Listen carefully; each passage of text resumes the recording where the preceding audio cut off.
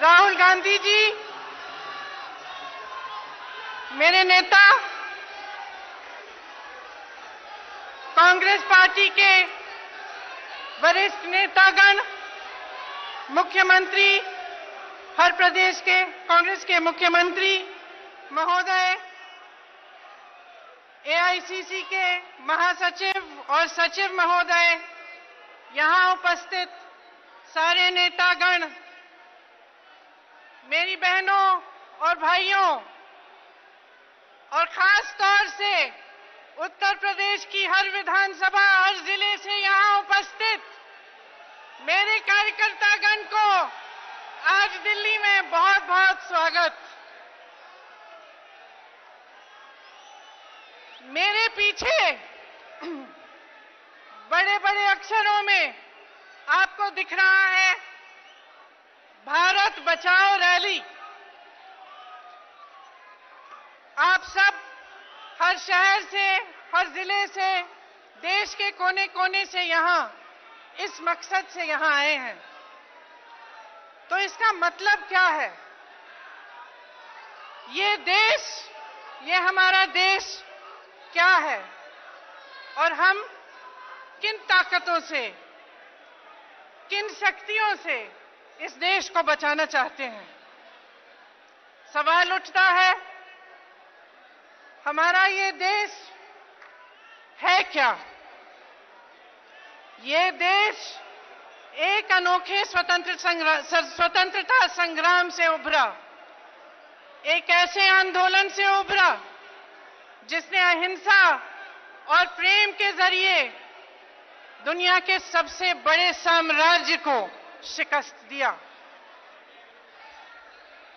ये देश प्रेम का देश है, अहिंसा का देश है, भाईचारे का देश है।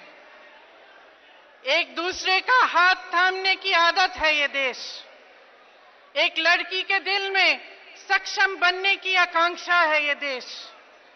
एक नौजवान की आँखों में पल रहा मज़बूत भविष्य का सपना है देश। एक किसान के लहलहाते खेत है देश। फैक्ट्री में काम कर रहे मजदूर की कड़ी मेहनत है देश। एक फौजी के दिल में मातृभूमि के लिए जान देने की इच्छा है देश। अच्छाई, सच्चाई और विकास का सपना है देश। और उस सपने को देखने का हक, उसका अधिकार हर नागरिक को देने का देने वाला संविधान है ये देश। हर हिंदुस्तानी को समानता, स्वतंत्रता और स्वाभिमान देने वाला, लोकतंत्र लोकतंत्र की शक्ति देने वाला है ये देश। हमें इस देश को बचाना है, क्योंकि आज इस भारत में एक ऐसी सरकार और विचारधारा का साया छाया है, जिसके ज़रिए न समानता का अधिकार बचा है, न एक स्वतंत्र और स्वाभिमानी भविष्य का। कुछ सालों पहले हमारे देश की अर्थव्यवस्था ऐसी गति से बढ़ रही थी कि दुनिया हमारे तरफ़ देखने लगी। ये कहा जाता था कि चीन की तरह हिंदुस्तान की अर्थव्यवस्था भी इतनी तेज़ी गति से बढ़ रही है कि भारत की अर्थव्यवस्था भी विश्व की सबसे विकसित अर्थव्यवस्थाओं की तरह मज़बूत बन रही थी। विदेशी पूंजी भारत में आने लगी। हमारे उद्योग मज़बूत बने। मनरेगा जैसी ग्रामीण योजनाओं के ज़रिए रोज़गार बने। लेकिन आज भाजपा के छह सालों के राज के बाद स्थिति ये बन गई है कि रोज़गार बढ़ने के बजाय घट रहे हैं। जीडीपी पाताल पर आकर आ गई है। महँगाई हद से ज़्यादा बढ़ गई है। फैक्ट्रियाँ बंद हो रही हैं। Car, motorcycle, TV, fridge, biscuit, कपड़े, सब कारखानों का काम घट रहा है। छोटा व्यापारी असफल जीएसटी से जूझ रहा है। एक तरफ़ आपसे काम छीना जा रहा है और दूसरी तरफ़ महँगाई बढ़ती चली जा रही है। फिर भी हर बस स्टॉप पे, हर अखबार में, हर टीवी के चैनल पे, भाजपा के इश्तिहार में आपको लिखा क्या दिखता है? मोदी है तो मुमकिन है। असलियत ये है, बहनों और भाइयों, कि भाजपा है तो सौ रुपए की किलो की प्याज मुमकिन है। भाजपा है तो 45 साल में सबसे ज़्यादा बेरोजगारी मुमकिन है। भाजपा है। तो चार करोड़ नौकरियाँ नष्ट होना भाजपा है। तो पंद्रह हज़ार किसानों की आत्महत्या भाजपा है। तो हमारे नवरत्न कंपनियाँ की बिक्री भाजपा है।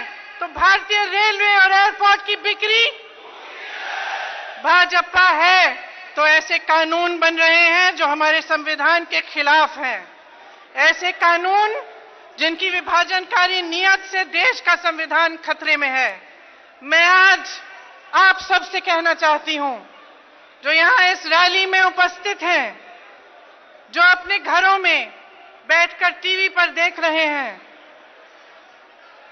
कश्मीर से लेकर अरुणाचल प्रदेश तक उत्तर प्रदेश से लेकर तमिलनाडु तक, जहाँ तक मेरी आवाज़ पहुँच सकती है, देश के कोने कोने में बसे।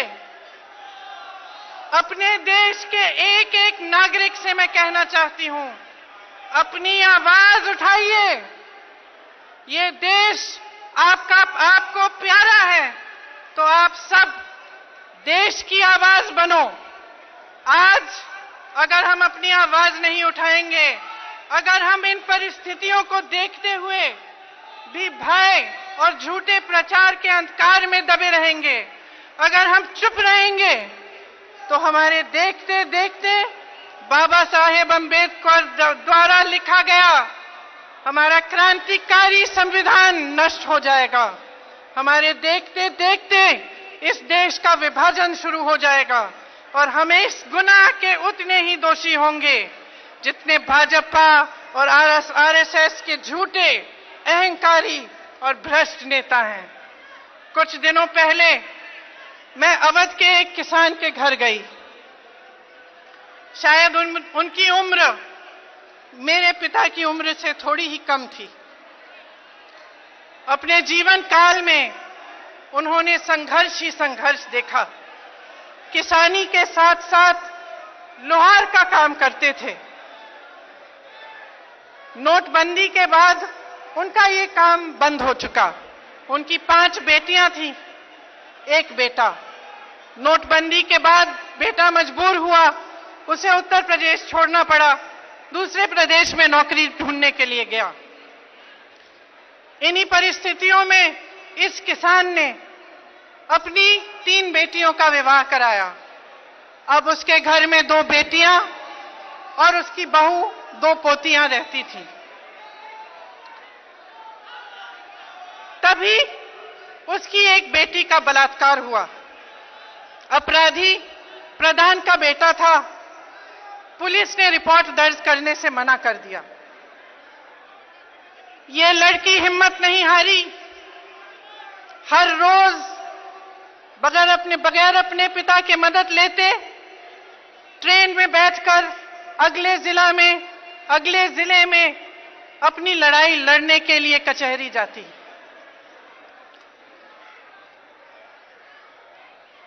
यहाँ पर उसके गाँव में प्रधान और उनके परिवार के लोगों ने बेरहमी से उसके पिता को पीटा। उसके खेत जला डाले। उसकी नौ साल की भाभी की बेटी को भयंकर तरह से धमकाया। फिर भी वो हिम्मत नहीं हारी। इंसाफ की आस में एक सुबह उठकर अपने घर से अदालत जा रही थी, जब अपराधियों ने उसे पकड़ा और बीच सड़क में उसे जला डाला। जलते हुए वे साहसी लड़की एक किलोमीटर भागी और अंत में हार कर गिर गई। उनके घर में बैठे हुए मैं उस लड़की की भाभी से ये दास्ता सुन रही थी। जब उसके पिता ने अपने चेहरों को, चेहरे को अपने हाथों में छुपाकर उसके पिता रोने लगे। मुझे उस पल में अपने पिता की याद आई। उस पिता के, अपनी बेटी के प्रेम को देखते हुए मुझे अपने पिता की याद आई, जिनके छलनी शरीर को मैंने 19 साल की उम्र के घर 19 साल की उम्र में मैं घर लाई। मेरे आँखों में भी आँसू आए। मेरे पिता का खून इस धरती की मिट्टी में मिला हुआ है। और उस किसान की बेटी का खून भी इसी देश की धरती की को सींच रहा है। इस देश में जो अत्याचार हो रहा है, उसे रोकने का हम सब का कर्तव्य है। यह देश हमारा है। इसे विनाश से बचाना हमारा नैतिक कर्तव्य है। जब हम उस किसान के घर से निकल रहे थे तो उसकी पोती चारपाई पर खड़ी थी। एक नौ साल की बच्ची है। मैंने उससे पूछा, बड़ी होकर तुम क्या बनोगी? उसने जवाब नहीं दिया। मेरे मन में यह बात आई कि इतनी भयंकर घटनाओं की वजह से शायद इस बच्ची के सपने खो चुके हैं। लेकिन दिल नहीं माना मैंने दोबारा पूछा, बड़ी होकर तुम क्या बनोगी? इस बार वे आस्ते से बोली, जो वकील से भी बड़ा होता है, मैं वो बनूँगी, मैं जज बनूँगी। न्याय हर इंसान का अधिकार है, हर इंसान की आकांक्षा है। न्याय की लड़ाई लड़नी, लड़ने से बड़ी कोई भी देशभक्ति नहीं है। आज जिस दौर से हमारा देश गुजर रहा है, चारों तरफ़ अन्याय है। महिलाओं के साथ अत्याचार होते हैं तो अपराधियों की रक्षा होती है। गरीबों पर मुसीबतें ला दी जाती हैं और बड़े बड़े उद्योगपतियों के कर्ज माफ़ किए जाते हैं। ऐसे कानून बनाए जाते हैं जिससे लाखों नागरिक बंदी की तरह रखे जाते हैं। आज अन्याय के खिलाफ जो नहीं लड़ेगा, वे इतिहास में कायर कहलाएगा। इस देश को बचाना है तो बहनों और भाइयों, मन बना लो। इस देश की मिट्टी प्यारी है तो साहस बांधो। भारत देश की रखवाली करना, इसमें स्वतंत्रता, समानता और स्वाभिमान का एक हक बरकरार रखना इस देश के प्रति हम सब की ज़िम्मेदारी है। अवध में उस गाँव में एक नन्ही सी लड़की के सपनों की तरह हर हिंदुस्तानी के सपनों को सुरक्षित रखना हमारी ज़िम्मेदारी है, आप सबकी ज़िम्मेदारी है। और इस ज़िम्मेदारी को निभाने के लिए सबसे बड़ी भूमिका कांग्रेस के मेरे कार्यकर्ता बहन और भाई आप सबकी है। आप सब यहाँ आए हैं आज अपने देश को बचाने के लिए ये भावना लेकर यहाँ आए हैं। इसके लिए मैं एक बार फिर आप सबको बहुत बहुत धन्यवाद देती हूँ। जय हिंद! जय हिंद! जय हिंद!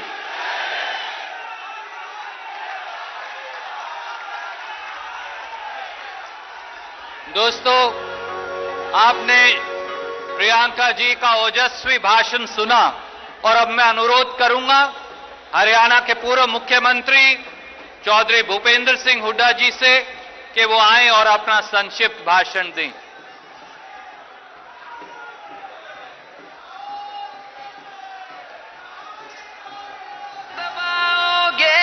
झूठ की मटकी भर चुकी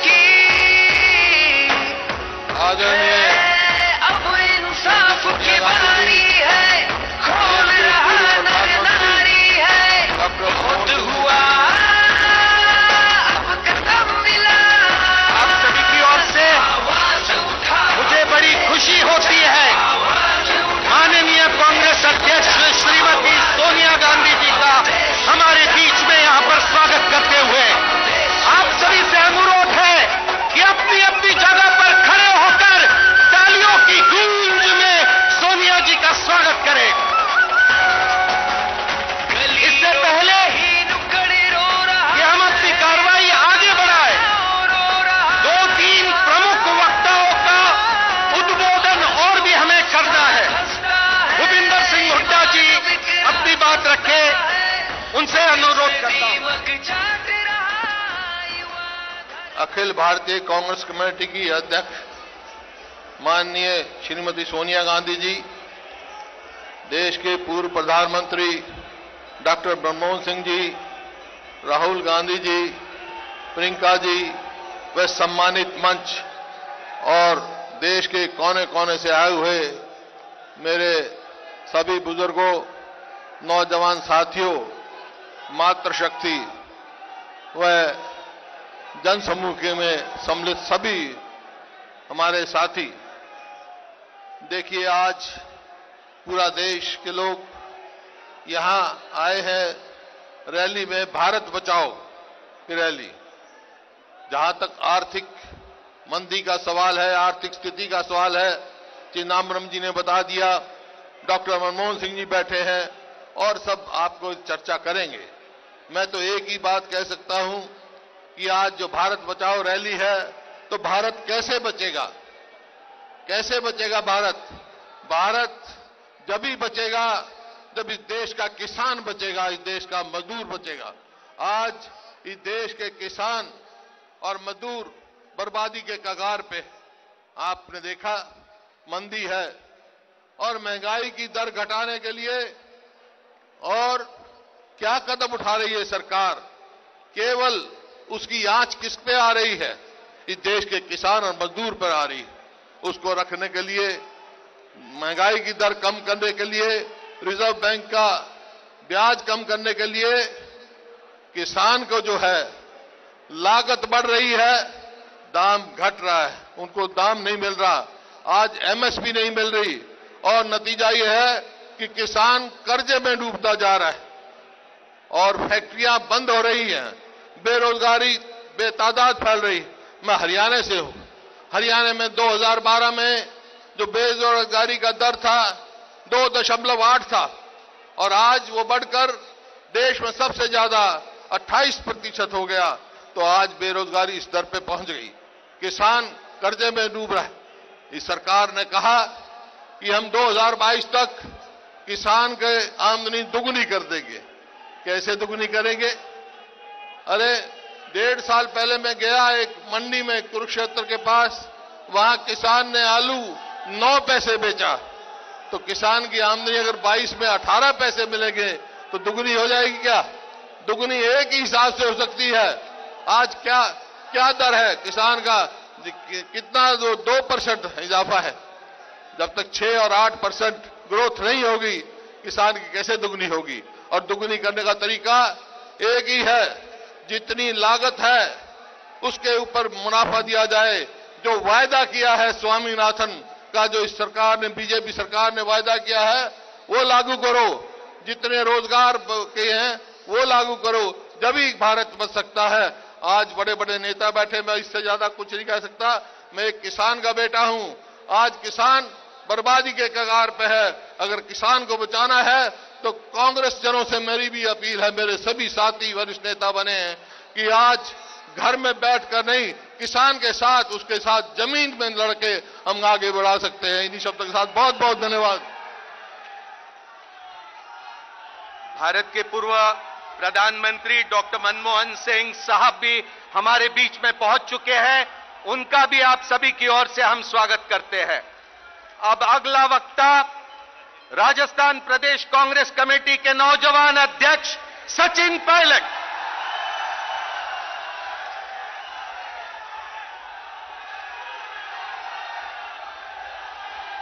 अखिल भारतीय कांग्रेस कमेटी के अध्यक्षा श्रद्धेय श्रीमती सोनिया गांधी जी, आदरणीय राहुल गांधी जी, आदरणीय डॉक्टर मनमोहन सिंह जी, आदरणीय प्रियंका जी मंचासीन सभी नेतागण आज भारत बचाओ रैली में देश के कोने कोने से आए सभी कांग्रेस कार्यकर्ता, भाई और बहनों, मैं धन्यवाद देना चाहता हूँ श्रीमती सोनिया गांधी जी का कि कांग्रेस पार्टी की तरफ़ से आज इस महान विशाल रैली का आयोजन किया गया है।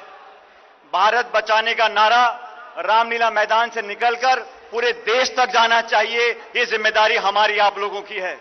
आज देश के संविधान के ऊपर, देश की अर्थव्यवस्था के ऊपर जो आक्रमण ये केंद्र की सरकार कर रही है, उसका मुँह तोड़ जवाब देने के लिए आप सबको मिलकर एकजुटता से आगे बढ़ना पड़ेगा।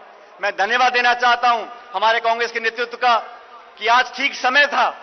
चुनाव होने के बाद आज जनता उम्मीद करती थी कि महँगाई कम होगी, बेरोजगारी कम होगी, लेकिन दुख के साथ कहना पड़ता है, जो लोग आज शासन में बैठे हैं, उन्होंने सत्ता का दुरुपयोग कर कर प्रहार किया है, चोट की है, किसान के साथ, नौजवान के साथ, बेरोजगारों के साथ। बहुत उम्मीदों के साथ जनता वोट देकर सरकार बनाती है। और जब सरकार देश में बन गई, आज एक ऐसी सरकार बनी है जो हर व्यक्ति को नजरअंदाज कर कर सिर्फ़ कुछ लोगों का स्वार्थ पूरा करने का काम कर रही है। मैं धन्यवाद देना चाहता हूँ लाखों लोगों का जो आज दिल्ली में एकत्रित हुए हैं। और राहुल गांधी जी और प्रियंका गांधी जी से बोलना चाहता हूँ कि आज यहाँ से आह्वान करें कि दिल्ली के बाद पूरे हिंदुस्तान में जाकर कांग्रेस और आंदोलन को खड़ा करें, एकत्रित करें, ताकि नौजवान किसान की लड़ाई हम लोग लड़ सकें। मैं धन्यवाद दूँगा हमारे खासकर राजस्थान से जो हज़ारों हज़ार लोग यहाँ पर आए हैं। आपने इस कामयाब रैली को अति कामयाब बनाया है। मैं पुनः आप सब लोगों का बहुत धन्यवाद करते हुए और भारत बचाओ रैली का आज जो एक कामयाब आयोजन हम लोगों ने किया है, ये आने वाले समय में बहुत ताकत हम लोगों को देगा। आपका बहुत बहुत धन्यवाद। जय हिंद। राम राम साहब और अब मैं अनुरोध करूँगा हमारे युवा साथी कांग्रेस कार्य समिति के सदस्य ज्योतिरादित्य सिंधिया जी से।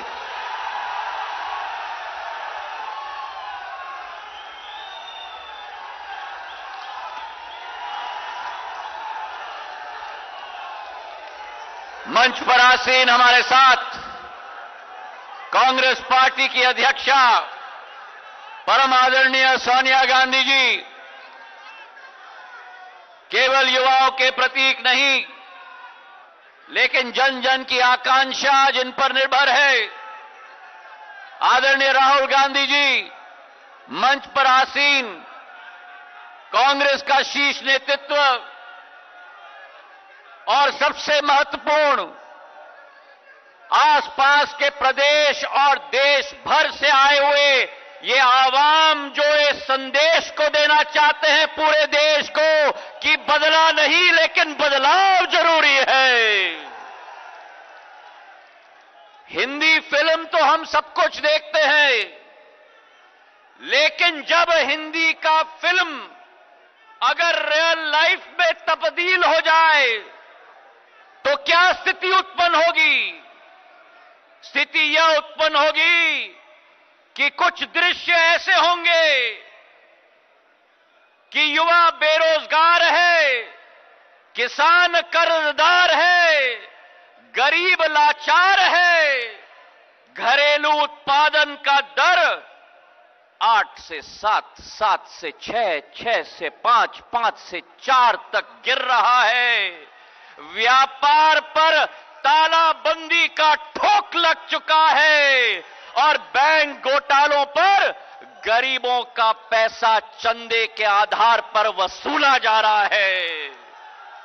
और अगर ये फ़िल्म का दृश्य है तो फ़िल्म के दृश्य के साथ उस फ़िल्म का शीर्षक भी है। और उस फ़िल्म का शीर्षक है कि सब कुछ ठीक है ऑल इज़ वेल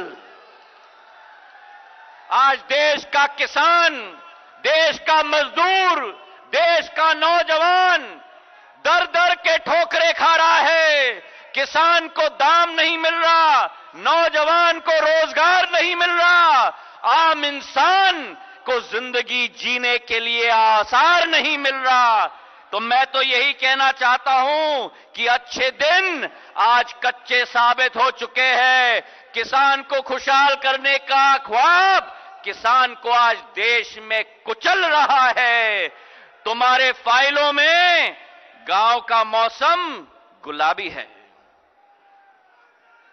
तुम्हारे फ़ाइल में गाँव का मौसम गुलाबी है, मगर ये आंकड़े झूठे हैं, ये दावा किताबी है। तुम्हारे फाइलों में गाँव का मौसम गुलाबी है मगर ये आंकड़े झूठे हैं, ये दावा किताबी है। देश के अन्नदाता पेड़ों से लटक के सो रहा है। अच्छे सपने के दिन देख, बस बेबस होकर राह देख रहा है। ये आगाज़ सोनिया जी, राहुल जी के नेतृत्व में पूरे देश में आवाज़ जाए और अब बदलाव की ज़रूरत है। धन्यवाद। जय हिंद। जय भारत। और अब मैं अनुरोध करूँगा एक और नौजवान, श्री राजीव सातव से, कि वो आए और इस देश के नौजवान की बात कहें।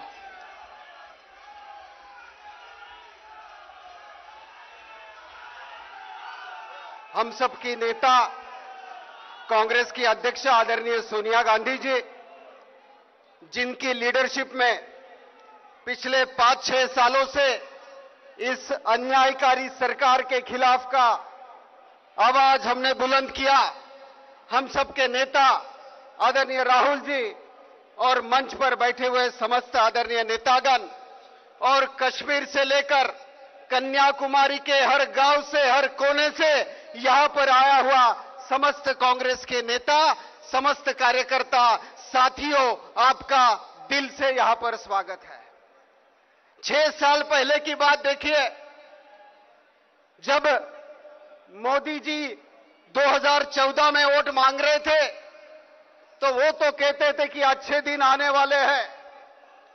लेकिन पिछले चार पाँच साल में मुझे याद है वो शोले का डायलॉग जब 50-50 कोस दूर तक जब भी बच्चा रोता है तो माँ क्या कहती थी? बच्चे सो जाने तो गब्बर आ जाएगा। अब पिछले छह साल से इस देश के कोने कोने से आवाज़ आ रही है कि बच्चे सो जाओ, नहीं तो मोदी आ जाएगा। इस देश की अर्थव्यवस्था को डुबाया। इस देश के जन जन हमारा युवा साथी, पिछले